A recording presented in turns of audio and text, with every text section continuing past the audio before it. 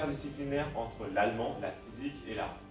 Pour introduire l'allemand et l'art dans ce projet, nous sommes partis de l'idée d'utiliser une scène du film, la liste de Schindler.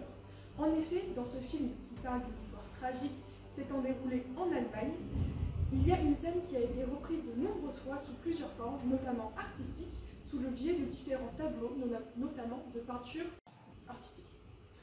Cette scène représente une fille avec un manteau rouge et euh, des personnes derrière elle qui sont toutes habillées de noir et de gris.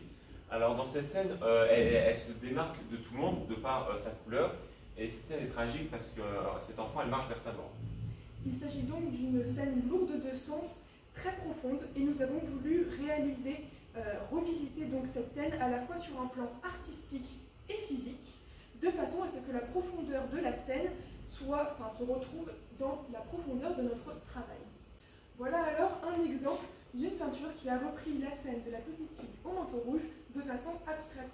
Et nous avons donc l'idée de reprendre euh, cette peinture, mais d'en faire un tableau assez particulier parce qu'il sera composé de LED et de miroirs qui, en réfléchissant la lumière, vont permettre de donner euh, cette euh, sensation de profondeur. Voilà alors comment nous avons réalisé notre tableau. Nous avons d'abord commencé par réaliser les plans. Ici, nous avons commencé, après avoir découpé les planches de bois, à euh, tailler les rainures dans le bois afin de pouvoir faire passer les vitres et euh, le miroir. Et ici, nous étions en train de percer des trous dans le bois afin de pouvoir euh, mettre les petits taquets pour emboîter les différentes parties afin de construire notre cadre. Après, nous avons ensuite peindre euh, l'intérieur du cadre en noir afin de pouvoir créer euh, cet aspect de profondeur et euh, de noirceur. Ici, nous découpons le fond du cadre avec le son, c'est mieux. Ici, nous avions mis donc, la vitre en verre avec le film sans on va pouvoir le reflet avec les feuilles sur le sol. Alors, à ce moment-là, nous étions en train de démonter les interrupteurs afin de pouvoir faire passer les fils euh, dans le trou qui se trouve au-dessus du cadre. Nous avons ensuite collé les LED à l'intérieur, euh, puis nous avons fait passer les fils électriques à l'intérieur du cadre pour les, ressortir à l'extérieur et pouvoir les brancher. Donc ici nous étions en train de ressouder euh, l'alimentation pour que le contact se fasse bien. Nous avons ensuite fermé le cadre à l'aide de notre planche en bois que, que nous avons fermé avec des petits taquets sur les côtés. Voilà donc notre projet terminé avec l'aspect de profondeur.